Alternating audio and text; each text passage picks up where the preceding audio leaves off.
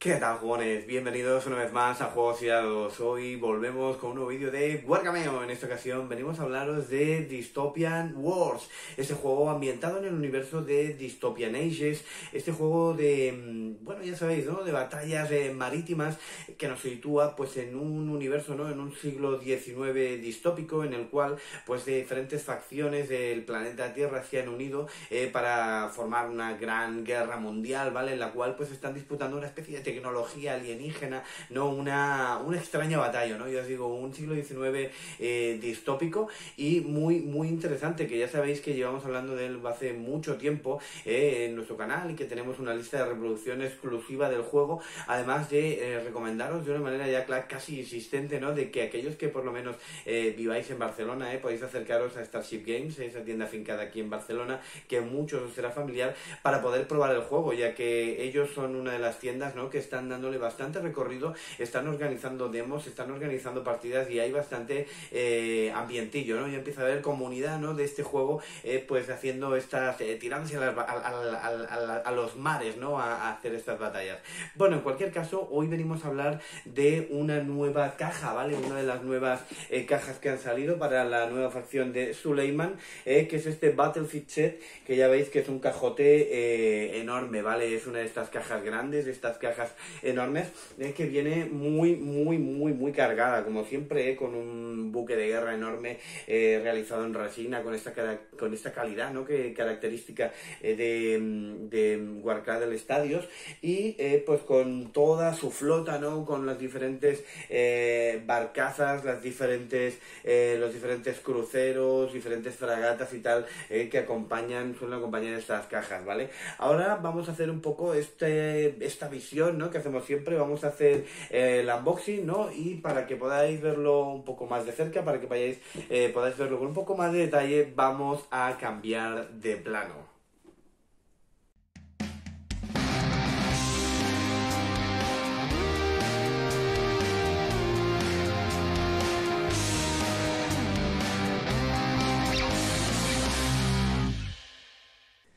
Bueno, pues veamos esta última entrega, ¿no? Este último gran cajote de esta facción para Dystopian Wars, del universo de Dystopian Ages, y que en este caso pues es el gran cajote, ¿no? La, gran flota de Suleiman, ¿eh? de este de Suleiman, este, esta facción eh, que, que, es una de las eh, más recientes, a decir verdad. Es una facción que yo todavía conozco poco, pese que ya pasé por aquí una de las cajitas pequeñas, uno de los pequeños Battlefield set, eh, no, había pasado todavía esta tan enorme, eh, y que, bueno, vamos a ver un poco pues cómo es su contenido, eh, que acostumbran a ser bastante generosos. Recordad que siempre aquí vais a tener en, en, este lado de la caja pues este código QR con el cual pues tendréis información para descargar las las guías de montaje, os va a llevar a la página web de dystopianwars.co.k eh, eh, y que eh, pues bueno, puede ser bastante útil. hay veces que vienen las guías de montaje dentro en papel, hay veces que no, porque están teniendo una política verde, ¿no? una política de, no imprimir cosas que no son necesarias, pero sí que es cierto que en algunas de las últimas cajas, sobre todo en estas grandes, hemos visto de que sí que incluían los manuales de montaje. Supongo que habrá gente que no le haya eh, causado tanta eh, tanto furor, ¿no? Estas eh, medidas de sostenibilidad y medio ambiente y al final pues hayan decidido en al menos estas cajas grandes incluirlas. En cualquier caso, vamos a tener un gran contenido en esta caja. Esta eh, esta facción, perdonad, de Sultanate, antes os decía Suleiman, que es la, la flota ¿no? que nos incluye para Sultanate, eh, va a incluir pues este buque, ¿no? este buque de guerra ¿no? que, que siempre digo yo, el Suleiman Fleet Carrier. Luego nos va a incluir además tres eh, Support Cruiser, eh, tres eh, cruceros de apoyo que van a ser poder construidos de diferentes maneras, como un Mirrihab, como un Aidin, como un Constantinople, un Konya o un Morea Class Ship, ¿vale? Luego vamos a tener además tres Frontline Cruiser, o sea, tres cruceros de no sé, frontline, no sé cómo se traduciría esto, si fronterizo o qué, eh, que pueden ser construidos también con bastantes eh, diferencias, ¿no? Como un Iskander, un Izmin, un Pasha o un Sandrasam Class Ship, ¿vale? y que bueno ambos ambos cruceros también pueden ser combinados para construirse como un Harren Grand Chrysler o Mehmen Grand Monitor. Eh, o sea que vamos a tener muchas opciones no con estos con estos eh, seis cruceros que veis ahí arriba que además como veis aquí pues nos va a dar estas eh, opciones adicionales que acabamos de mencionar no luego vamos a tener seis fragatas vale estas eh, Termit Frigate, eh, eh Frigate, perdón. Eh, luego vamos a tener seis Score Skiff, eh, que van a ser estos que veis por aquí, si no estoy equivocado, exacto, lo digo bien. y luego, por último, escuadrones de corto alcance, ¿no? Estos eh, Squadron, Ranch Small, eh, que son estos tres de aquí, escuadrones de corto alcance, que ya veis que, también pues muy, muy bien, ¿no? Eh, pues estos escuadrones que nos van a servir para apoyarnos al atacar y al defender y, que, y que son realmente la, la, pera. y ahora vamos a abrir ya la caja, tú, vamos a dejarnos ya de, de, de cebolla ¿no? De, de estar dando vueltas aquí a a la película. vamos a ver el contenido de este eh, Sultanate Soliman Battlefield. Eh, como siempre, lo abrimos lateralmente y esta caja, pues horizontalmente. Eh. Y como, como intuía, ¿vale? Nos viene un manualaco, ¿vale? Que además, pues nos va a hacer las veces de guías de montaje, como os anticipaba, ya estaba viendo que hacía varias cajas que lo estaban incluyendo y intuyo que puede ser por eso, ¿no? Porque hayan habido algún tipo de, de queja o que no todo el mundo le haya gustado, ¿no? Luego nos vienen los orbas, ¿no? Estas fichas, eh, estos sheets, data sheets para los barcos, ¿eh? Pues como siempre con el barco completo y el barco ya eh, fastidiadete, ¿no? El barco ya cuando está haciendo un poco de aguas y eh, pasados todos los modelos de barcos que nos incluye esta caja, unas guías, unos resúmenes con los daños críticos, eh, pues con las armas, ¿no? las habilidades de las armas, eh, la, pues las diferentes habilidades y una guía de referencia rápida para poder jugar el juego de la manera más ágil posible. Aquí tenemos las peanitas, ¿vale? Estas peanitas que os he dicho que eran para los escuadrones de, corto alcance, ¿vale? Para los eh, Small Ranch Squadron, ¿vale? Eh, aquí más, más peanitas, eh, que voy apartando, vienen un montón, yo no sé, ahora me deja un poco descolocado esto de que vengan tantas, tantas, tantas peanitas.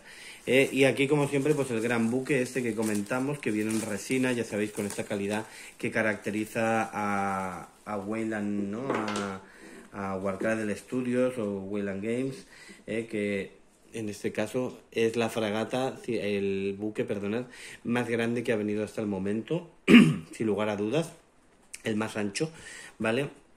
Y como siempre con estas piezas, ¿no? Eh, que vamos a ir eh, pegando, ¿no? A medida que vayamos trabajándolas un poco. esta, pues entra, vamos a ver cómo entra, entra bastante bien. Eh, hay que, hay que, ahora, ¿vale? Entra bastante bien, como siempre la estoy metiendo torcida, por eso está costando un poquito más entrar, ¿eh? porque diría que está aquí, diría que esto va así, ¿vale? Pero bueno, oye, que ahora, ¿vale? Y, y luego aquí otras piececitas, ¿no? Que parece que irán aquí, que son como dos especies de salidas de humos o, o lo que sea, ¿vale? Que siempre pues acaban de, ¿eh? de, de montar estas piezas hay veces que viene alguna cosita que hay que añadir en plástico, en este caso, uy, en este caso no hay ninguna, ¿vale? Y hay veces que algún escudo o algún arma se acaba de añadir con las matrices de plástico, pero no. En este caso vamos a tenerlo, yo diría que montado al 100% de resina. Una resina maravillosa con un nivel de esculpido brutal. Y vamos a ver el plástico, sí, el plástico.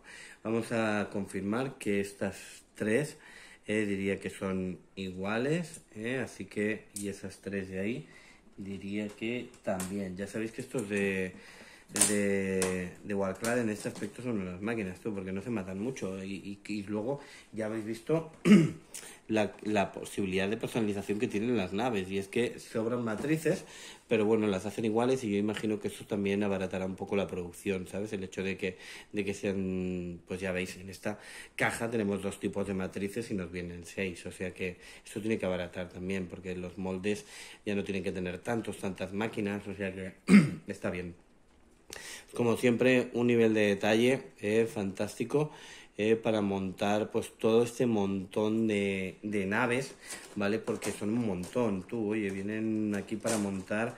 Eh, luego las contaré porque no las, he ido, no las he ido contando de cabeza, pero más de 15, ¿vale? y aquí pues la otra matriz, ¿vale? Os repito, hay tres de esta y tres de esa otra, ¿vale? Tenemos un montón de, de plástico para montar diversas opciones.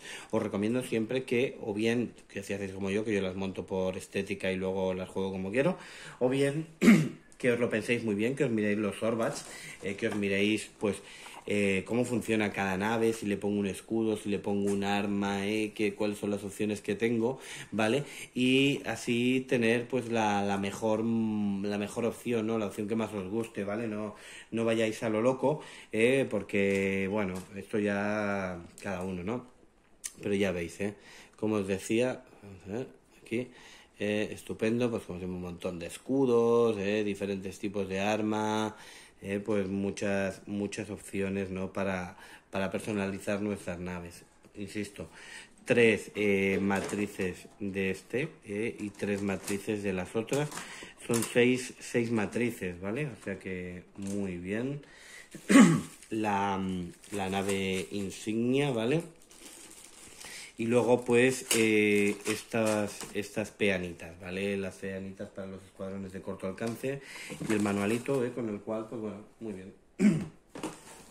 Y ahora vamos a hacer ese ejercicio, ¿no? Que os comentaba, yo os digo, una caja enorme, ¿vale? Pero realmente, ¿cuántas son las naves, no? Decíamos que un Suleiman Fleet, luego tenemos seis cruceros, seis eh, fragatas, eh, seis escort eh, skiff, que no sé cómo se traducirá esto, ¿no? los, los planeadores estos eh, que van por sobre el agua, eh, que estamos hablando de 6, 6 y 6, o sea, estamos hablando de 18 más el, bar, el barco, el buque, ¿no? Que son 19 y tres escuadrones de corto alcance, pues 22 miniaturas. Muy bien, muy bien, ¿no? Yo pienso que es un contenido bastante, bastante potente, ¿vale? Eh, yo pienso que, que, está muy bien. Aquellos que les guste esta facción van a estar contentos con esta caja, ¿vale? Yo pienso que, que es una caja muy completa. Ya sabéis que con normalmente una caja de estas vais a tener todo lo necesario para jugar el juego porque así como cualquier otro wargame vamos a designar, ¿no? vamos a decidir al principio ¿no? con nuestro oponente a cuántos puntos vamos a jugar y realmente tenemos muchas eh, muchos tipos de partida en el cual no va a hacer falta que metamos 22 eh, elementos ¿no? Eh, seguramente vamos a poder jugar eh, pues sin la gran nave vamos a poder jugar eh, con esta parte de aquí solo o con todo ¿no? pero, pero tenemos muchos modelos de partida, ¿eh? porque además cuantas más naves metamos también va a aumentar la duración de la partida ¿eh? y ya sabemos que la mayoría que nos encontramos jugando a esto ya tenemos, eh, ya pintamos canas ¿eh? o no pintamos canas directamente como es mi caso, ¿eh? pero ya estamos en una vida, en un modelo en el cual pues el, el tiempo no pues también a veces es importante, ¿no? y una partida que te puede durar dos horas y media pues siempre es mucho mejor eh, que si te, te puede durar cinco horas ¿no? y te, te, te entra en conflicto ¿no? con otros asuntos eh, más apremiantes laborales o familiares. ¿no? Así que eh, no siempre eh, hay que tenerlo todo de todo. Con una cajita como esta, hay veces incluso que con un Battlefield set de los pequeños, no el enorme, vais a poder jugar este juego perfectamente. ¿Eh? pactando con vuestro rival eh, pues las puntuaciones para poder hacer estas partidas. Y os lo vais a pasar muy bien. El tamaño del campo de batalla también es escalable con lo cual no siempre hace falta jugar en un campo de batalla eh, con el tamaño mesa estándar del Ikea eh, sino que vais a poder jugar pues en tamaños pues más este rollito X-Wing o incluso tamaño Kill Team. Estas, este tipo de tamaños os pueden permitir jugar este juego perfectamente Así que nada, eh, como siempre, espero que os haya gustado el vídeo. Ya sabéis que si acabáis de llegar por aquí, eh, os, animo a suscribiros. Eh, y los que ya seáis veteranos del canal, como siempre, pues comentar, darle a like, compartir con aquellas personas que creéis que les puede interesar. Y como siempre, muchas gracias por verme y hasta el siguiente vídeo.